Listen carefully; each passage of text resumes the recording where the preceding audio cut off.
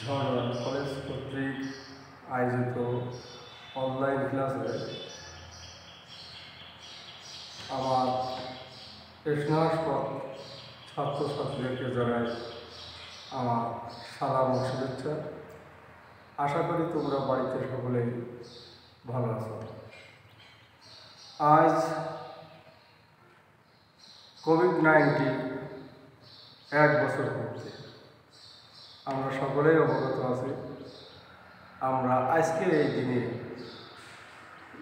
গত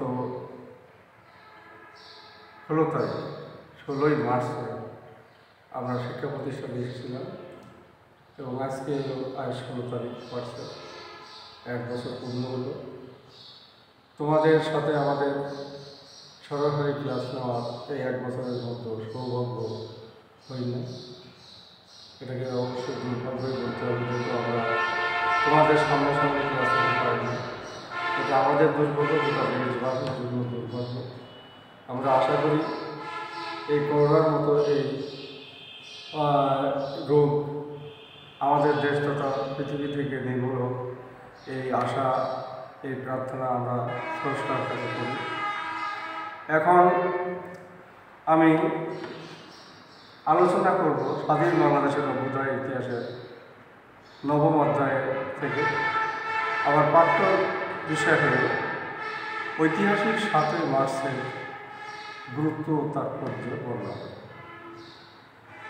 আমি আমার স্নেহ ছাত্রছাত্রীদের দৃষ্টি আকর্ষণ করব। তোমরা আমার এই আলোচনা গভীর মনোযোগ সহকারে তোমরা শুনবে। ঐতিহাসিক সাতই মার্চের গুরুত্ব এবং তাৎপর্য কী? ঐতিহাসিক দিন তো বাংলাদেশের প্রেক্ষাপটে অনেক আছে, বিশ্বের তো বটে ঠিক তদ্রূপ একটা গুরুত্বপূর্ণ একটা দিন হল সাতই মার্চ। এটাকে ঐতিহাসিক সাতই মার্চের ঘোষণা করা অর্থাৎ সাতই মার্চের তারিখে উনিশশো একাত্তর সালে বঙ্গবন্ধু শেখ মুজিবুর রহমান এই দিনে রেসকোর্স ময়দানে বর্তমান সরোবর্তী উদ্যানে দশ লাখ লোকের সমাগত এক অনুষ্ঠানে তিনি যে ভাষণটা দিয়েছিলেন, এটা এই ভাষণকে বলা হয় ঐতিহাসিক সাতই মার্চের ভাষণ। এই ভাষণের মাধ্যমে পাকিস্তান এবং পূর্ব পাকিস্তান, আমরা দেশ স্বাধীন উনিশশো সাতচল্লিশ সালে উনিশশো সাতচল্লিশ থেকে উনিশশো সত্তর, অর্থাৎ এই যে দীর্ঘ চব্বিশটা বছর, এই চব্বিশ বছরের দীর্ঘ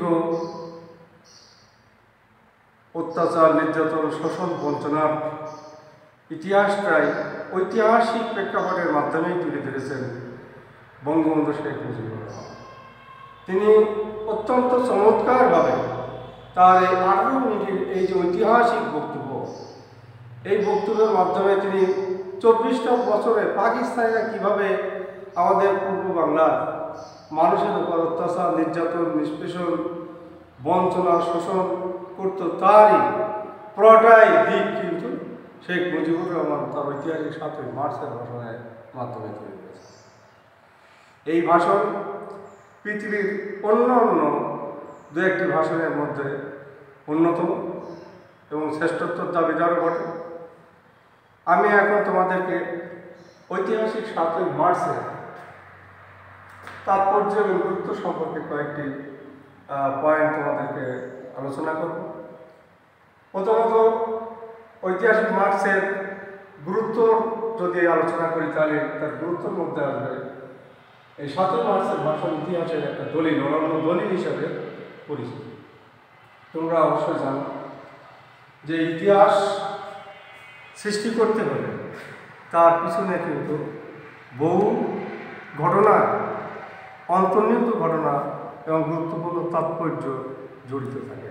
তা না কিন্তু ওই ঘটনাগুলো ঐতিহাসিক হয়। ঠিক সাতই মার্চের ঘটনা একটা ঐতিহাসিক ঘটনা। যে ঘটনার মাধ্যমে বঙ্গবন্ধু শেখ মুজিবুর রহমান আঠারো মিনিটে তার বক্তব্যের মাধ্যমে তিনি গোটা জাতিকে একত্রিত করে দিয়ে স্বাধীনতার মঞ্চ উজ্জীবিত করেছিলেন। এই জন্য এই সাতই মার্চের ভাষণকে ঐতিহাসিক একটা দলিল হিসাবে আমাদের কাছে সুপরিচিত এবং ইতিহাস বিখ্যাত হয়ে গেছে। এরপরে আমি যদি তোমাদেরকে বলি হাতুর মাসের গুরুত্ব আর কি হতে পারে? এই ভাষণটা পৃথিবীর শ্রেষ্ঠতম ভাষণ, অর্থাৎ পৃথিবীর অন্য অন্য ভাষণগুলির মধ্যে অন্যতম ভাষণ। কেমন? কয়েকটি ভাষণ এখানে উল্লেখ করা যেতে পারে যে যে আমেরিকার সাবেক প্রেসিডেন্ট জর্জ আব্রাহাম লিঙ্কন, তিনি যখন আমেরিকার লোক যখন গৃহযুদ্ধে নিমজ্জিত ছিল, ঠিক সেই সময়ে তিনি তার তিন মিনিটের যে বক্তব্য তিনি লিখেছিলেন। সেই তিন বক্তব্য ইতিহাসে, ইতিহাস সমৃদ্ধ এবং পৃথিবীর শ্রেষ্ঠতম বক্তব্য অন্যতম বক্তব্য হিসেবে আজও পরিগণিত হয়েছে এবং মার্টিন লুথার যে বক্তব্য, এ বক্তব্যটা ইতিহাসে কিন্তু আজও ইতিহাস সমৃদ্ধ, বিশ্ববিখ্যাত ভাষণ বক্তব্য হিসেবে। ঠিক এই দুই বক্তব্যের সাথে সাথে পাশাপাশি আমরা যদি ঐতিহাসিক সাতই মাসের ভাষণ, জাতির জন্য বঙ্গবন্ধু যে ভাষণ দিয়েছে সেই ভাষণের সাথে তুলনা করা হয়েছে। অর্থাৎ এই ভাষণে অনুরূপ ওই দুটো ভাষণের চাইতেও কি সমধিক গুরুত্বপূর্ণ এবং ইতিহাস বিখ্যাত। সুতরাং এই তিনটা ভাষণ আসলে কিন্তু ইতিহাসে স্বীকৃত এবং এই ভাষণগুলোই কিন্তু ইতিহাস সমৃদ্ধ করেছে। তাদের যে সংক্ষিপ্ত বক্তব্যের মাধ্যমে গোটা জাতিকে যে একত্রিত করা এই বক্তব্য, এই ক্ষমতা আসলে কিন্তু সবার মধ্যে ছিল না। ছিল কিন্তু আমরা দেখা আব্রাহাম লিঙ্কনের মধ্যে, মার্টিন লুথারের বক্তব্যের মধ্যে এবং বঙ্গবন্ধু শেখ মুজিবুর রহমানের এই আঠারো মিনিটের ঐতিহাসিক বক্তব্য। এই জন্য এই তিন ভাষণকে এই তিন বক্তৃতাকে বলা ইতিহাসের শ্রেষ্ঠতম বক্তৃতা বা ইতিহাস সমৃদ্ধ। ভাষণ এরপরে আমরা যদি সাতই মার্চের গুরুত্ব আসে তাহলে আমরা কিন্তু শোষণ বঞ্চনার ইতিহাস। এর গুরুত্ব সাতই মার্চের শোষণ বঞ্চনার গুরুত্বটা কি জন্য আসছে? অর্থাৎ আমরা সাতচল্লিশ সালে যখন ভারত এবং পাকিস্তান ভাগ হয়ে গেলাম তখন স্বভাবতই আমরা পাকিস্তানের কাছ থেকে অত্যন্ত ন্যায়সঙ্গত যুক্তি আমরা আশা করেছিলাম তাদের কাছ থেকে পাওয়া তারা আমাদেরকে সর্বক্ষেত্রে আমাদেরকে সম অধিকার আমাদের দিবে। যেহেতু আমরা ধর্মের ভিত্তিতে ভাগ হয়েছিলাম সেই সময়। অর্থাৎ পাকিস্তান ছিল মুসলমান এবং আমরা পূর্ব বাংলার মানুষ ছিলাম মুসলমান। আমরা একত্রে মুসলমান হিসাবে আমরা সম অধিকারটা পাবো, এটাই কিন্তু আমরা আশা করেছিলাম। কিন্তু সেই অধিকার, ন্যায় অধিকার, ন্যায্য অধিকার কিন্তু আমাদের পাকিস্তান সরকার কিন্তু পদে পদে আমাদেরকে দেয় নাই সর্বক্ষেত্রে, সামাজিক অর্থনীতি রাজনৈতিক ক্ষেত্রে আমাদেরকে শোষণ, নিষ্পোষণ বঞ্চনায় আমাদের দিয়ে গিয়েছিল। আমরা তাদের কাছ থেকে কোনো ন্যায়সঙ্গত দাবি বা অধিকার আমরা পাইনি। যার জন্য এই সাতই মার্চের ভাষণের মাধ্যমে পাকিস্তানের যে শোষণ বঞ্চনার যে ইতিহাস তারা সৃষ্টি করেছিল, সেটাকে আমরা তাদের কাছ থেকে পেয়েছিলাম এবং এই ইতিহাসের মাধ্যমে আমরা শোষণ, বঞ্চনার প্রতিবাদ করতে এরপরে বাঙালির মুক্তির সনদ ঐতিহাসিক সাতই মার্চের ভাষণকে বাঙালির মুক্তির সনদ বলা হয়। অর্থাৎ বঙ্গবন্ধু শেখ মুজিবুর রহমান বাংলার ভাষা আন্দোলন করেছিলেন এবং আন্দোলন করতে যেয়ে তিনি গ্রেপ্তার হয়েছিলেন। এরপরে বান্ন থেকে ছেষট্টির শিক্ষা আন্দোলন, সে উনষট্টি বাষট্টি শিক্ষা আন্দোলন, ছেষট্টি ছয় দফা, তারপর সত্তরের নির্বাচন। সত্তরের নির্বাচনে একক সংখ্যাগরিষ্ঠতা পাওয়ার পরেও কিন্তু আওয়ামী সরকার কিন্তু সেই সময় ক্ষমতা আরোপণে বসতে পারে না। অর্থাৎ সামরিক শাসক, পাকিস্তানের সামরিক শাসক কিন্তু সেই সময় ক্ষমতার মশলাতে বসতে দেয় না এই সমস্ত কারণেই শেখ মুজিবুর রহমানের সাতই মার্চের ভাষণ বাঙালির যে ম্যাগনেকাটা বা মুক্তির যে সনদ হিসাবে আখ্যায়িত হয়ে আছে ইতিহাস, এটাকে অবশ্যই আমাদেরকে স্বীকার করতেই হবে। তার ভাষণ ছিল বাঙালির মুক্তির একটা দলিল। এরপরে আমি যদি বলি যে তার আর সাতই মার্চের গুরুত্বপূর্ণ দিকের মধ্যে আর কি থাকতে পারে, এটার মধ্যে বলা যেতে পারে বাঙালিদের মধ্যে একটা ভ্রাতৃত্ববোধের সৃষ্টি হয়েছে। অর্থাৎ সবাই আমরা এক কাতারে এসে আমরা স্বাধীনতার জন্য আন্দোলন সংগ্রামে উদ্বুদ্ধ হয়েছিলাম।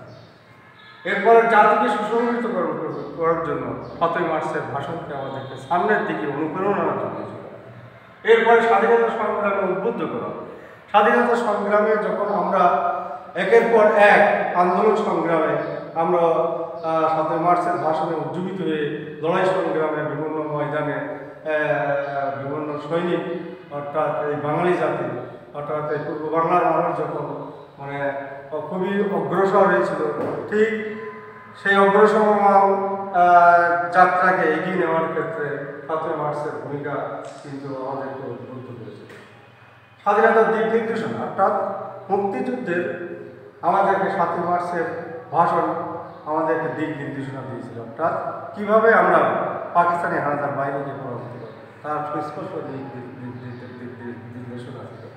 এরপরে যদি বলা যায়?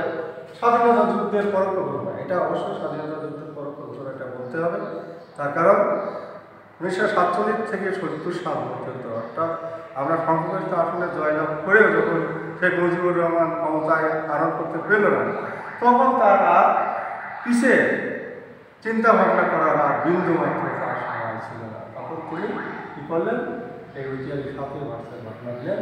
বাংলায় তিনি কিন্তু তার পরোক্ষ বলে বলেছিলেন যে, তোমাদের যা যা কিছু আছে তাই নিয়ে যুদ্ধে ঝুঁকে পড়ে তোমরা মনে রাখবে, রক্ত যখন দিয়েছি আরও দেবো। এবারের সংগ্রাম, মুক্তির সংগ্রাম এবারের সংগ্রাম স্বাধীনতার সংগ্রাম, জয় বাংলা অতএব এই ঘোষণায় কিন্তু পরোক্ষ যুদ্ধের একটা ইতিহাস। এটা আমাদেরকে অবশ্যই মনে রাখতে হবে। এবং এই সাতই মাসের ভাষণে শেখ মুজিবুর রহমান তার বক্তৃতার মাধ্যমে একটা অসাম্প্রদায়িক রাষ্ট্র গড়ার কিন্তু তিনি প্রত্যয় ব্যক্ত করে গিয়েছিলেন সুতরাং এই ঐতিহাসিক সাতই মার্চের গুরুত্ব এবং তাৎপর্য বিশ্লেষণে আমরা পাই যে জাতির জনক বঙ্গবন্ধু শেখ মুজিবুর রহমান তার মতো নেতৃত্ব যদি জন্ম না হতো, তাহলে এই সাতচল্লিশ থেকে যে সত্তরের নির্বাচনের মধ্যে তার যে ভূমিকা, এই ভূমিকাগুলো তিনি যদি তুলে ধরতে না পারতেন বাঙালি জাতির কাছে, তাহলে কিন্তু তার এই সাতই মার্চের ঘোষণা কিন্তু আমাদের কাছে ততটা উজ্জীবিত হতো না। এবং স্বাধীনতার অগ্রযাত্রাকেও কিছুটা হলেও বিরাট হতো সুতরাং সেই দিক থেকে বিবেচনা করলে দেখা যায় শেখ মুজিবুর রহমান ছিল বাঙালি জাতির একমাত্র মুক্তির কাণ্ডারি তাকে বলা হয় হ্যাঁ, বাঙালি জাতির স্বপ্নদ্রষ্ট স্বাধীনতার স্থপতি এবং তার নেতৃত্বেই কিন্তু আমরা সত্যিকার একটা স্বাধীন সার্বভৌম বাংলাদেশ পেয়েছিলাম। এতে বিন্দুমাত্র কারও সংশয় অবকাশের কোনো কারণ নেই। সুতরাং তিনি এই জন্য তাকে আমাদের জাতি ধর্মবর্ণ নির্বিশেষে সকলেই আমাদের কাছে তিনি জাতীয় পিতা হিসেবে উপস্থিত সকলে এবং আমার অনলাইনে যারা ক্লাস শুনবে তোমাদের প্রত্যেকে আমি আবারও স্বাগত জানাই। তোমরা আমার এই লেকচারটা গুরুত্বপূর্ণ, সুতরাং এই লেকচারটা তোমরা অনলাইনে অবশ্যই দেখবে। এই আশাবাদ করে আমার ক্লাস শেষ করছি।